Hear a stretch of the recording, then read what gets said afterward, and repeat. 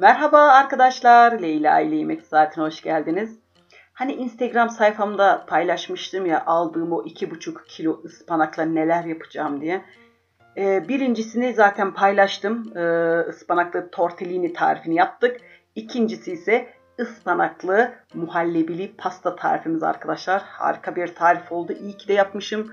12 senelik e, aşçılık ömrümde ben ıspanağı ilk defa pastada kullandım. Gerçekten bunu itiraf etmek istiyorum. İlk defa ıspanaklı pasta yaptım. Hep böyle bir çekiniyordum. Acaba o ıspanak kokusunu alacak mıyım diye. Kesinlikle almıyorsunuz. Herkes Antep fıstıklı zannetti bu pastayı inanın. o kadar güzel oldu ki yapınca hak vereceksiniz bana. Tarifimizin malzemelerini info kısmına yazdım arkadaşlar. Şimdi yapılışına geçelim. Ispanaklarımızı güzelce yıkayalım. Suyunu iyice süzdürelim ve rondomuzun içine koyalım arkadaşlar. Ee, içine biraz da su ilave edebilirsiniz. Böyle bir birkaç yemek kaşığı kadar daha güzel, daha ince çekiyor o zaman. İsterseniz yapabilirsiniz. İstemeyenler yapmayabilir ama ben böyle sonradan bir iki yemek kaşığı kadar su ekledim.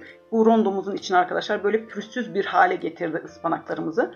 Ispanaklarımızı bu şekilde rondoda iyice ezip püre haline getiriyoruz. Pandispanyamız için çırpma kabımızın içine yumurtalarımızı ve e, sıcak suyumuzu alıyoruz arkadaşlar. İyice köpürene kadar çırpıyoruz. Sonrasında içine vanilyamızı ve şekerimizi yavaş yavaş ekleyerek çırpma işlemine devam ediyoruz.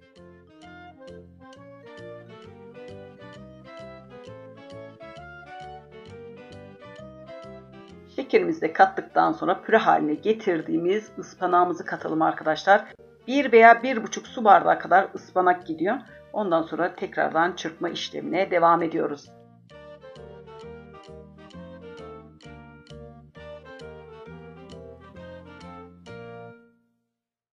Son olarak da elekten geçirerek kabartma tozumuz ve unumuzu ilave edelim. İster spatula ile ister bir çırpıcıyla yavaşça alttan yukarı karıştırarak pandispanyamızı hazır hale getiriyoruz. Arkadaşlar burada nişastamızı da kattık. Ee, ben söylemeyi unuttum. Un, nişasta ve kabartma tozu katıyoruz ve spatula ile karıştırıyoruz.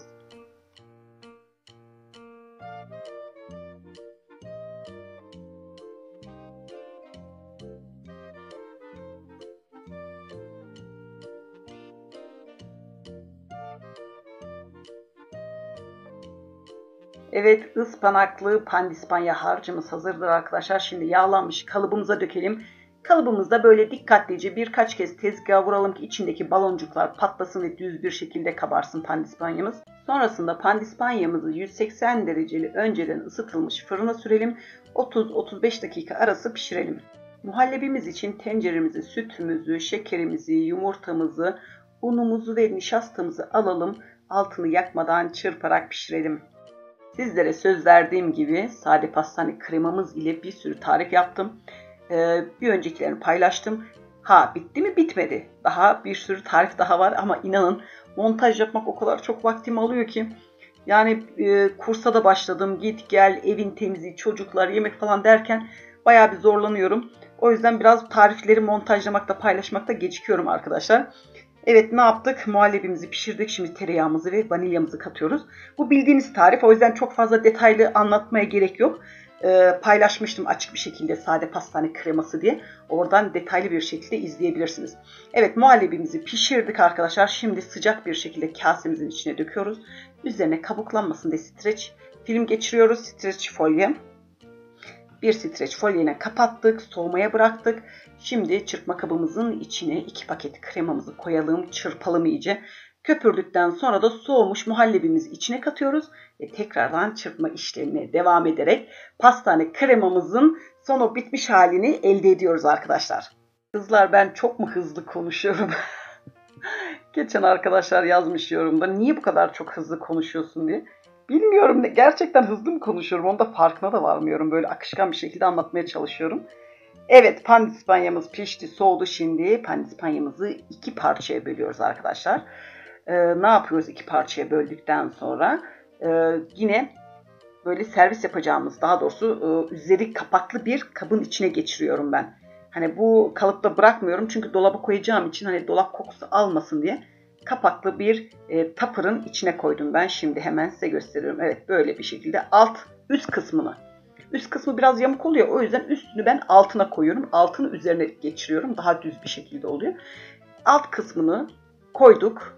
Yan kelepçelerini taktık pastamızın ve yapmış olduğumuz kremamızdan içine dökelim. Düzleyelim bir güzel ve içine muz o kadar güzel yakışıyor ki arkadaşlar.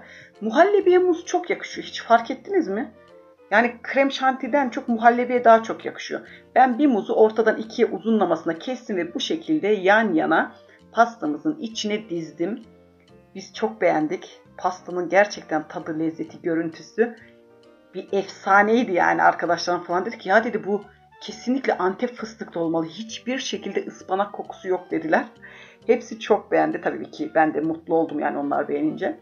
Evet muzlarımızı dizdik. Üzerine yine muhallebimizden koyuyoruz arkadaşlar. Ee, tekrardan şöyle her tarafına düzgün bir şekilde sürüyoruz. Ve diğer ikinci katımızı pandispanyamızın ikinci katını koyalım. Düzleyelim. Sonrasında tekrardan üzerine ince bir tabaka şeklinde çok fazla ince olmayacak yani kremamız yettiği kadar sürebilirsiniz arkadaşlar.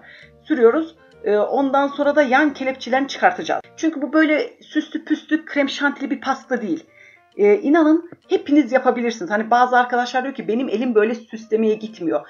Hani bu krem şantiyle çiçekler ne bileyim değişik değişik süsler yapıyorlar ya ona gitmiyor diyor yapamıyorum diyor. O yüzden bu süslü bir pasta değil. Bu pasta hepinize uygun bir pasta arkadaşlar. Şimdi muhallebimizden pastamızın her tarafına gelecek şekilde muhallebimizi sürüyoruz. Düz bir şekilde sürmenize de gerek yok. Çünkü üzerine Hindistan cevizi dökeceğiz ve elimizde zaten bastırarak düzleyeceğiz. Kesinlikle tereddüt etmeyin kızlar. Harika bir pasta çıkacak ortaya. Evet Hindistan cevizini de her tarafına dökelim böyle. Bol bol döküyoruz. Elimize yapışmayacak şekilde. Kenarlarına da iyice dökelim arkadaşlar. Sonra elimizde böyle her tarafını eşit bir şekilde düzleyelim. Çünkü elimize daha yapışmıyor. Hindistan cevizi oluyor ya her tarafı. Pastamızın her tarafı Hindistan cevizi olduğu için elimize kesinlikle krema falan yapışmıyor arkadaşlar.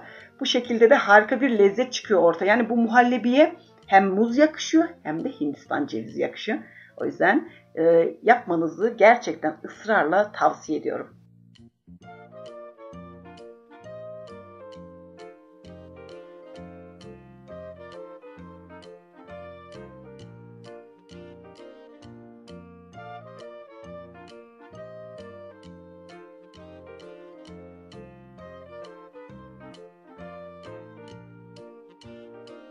Evet pastamız bitmiştir. Şimdi pastamızı dinlenmesi için 4-5 saat buzdolabına gönderelim. Ağzı kapaklı olursa daha güzel olur. Arkadaşlar hatta bu pastayı bir gün önceden yapın buzdolabında iyice dinlensin. Çünkü bu pasta dinlendikçe lezzetlenen bir pasta. 2-3 hafta e, muhallebisi buzdolabında durduğu için kesinlikle korkmayın hiçbir şey olmaz. Şimdi dinlenmiş pastamızı dilimlere keselim ve e, Şöyle ilk dilimini size göstereceğim. Ne bir dağılma var ne de bir bozulma var. İnanın çok güzel bir pasta.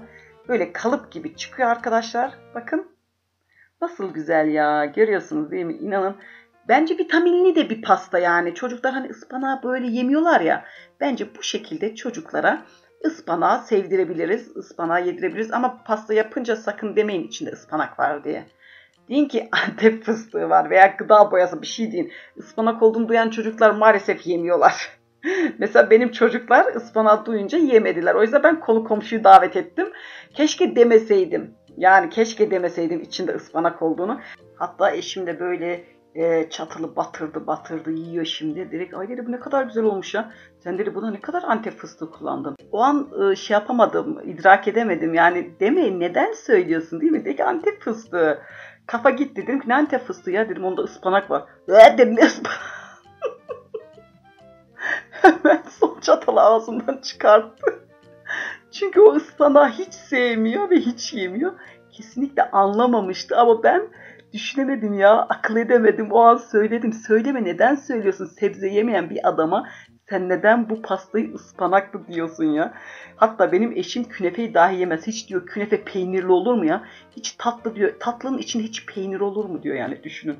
O yüzden baya bir hata yaptım orada ama bir dahakine kesinlikle asla söylemeyeceğim. Antep fıstığıyla yaptığımı söyleyeceğim. Tabii ne kadar inanırlar onu bilmiyorum. Ama güzel olan komşularım çok beğendi. Ee, onlara ikram ettim. Onları çağırdım. Afiyetle komşularımla birlikte tükettik. Ee, dediğim gibi arkadaşlar gerçekten inanılmaz lezzetli, harika bir pasta oldu. Yapınca bana hak vereceksiniz. Şimdiden tarifimizi yapan herkese afiyetler olsun diyorum. ve bir sonraki tarifte görüşmek ümidiyle kendinize çok iyi bakın. Hoşçakalın.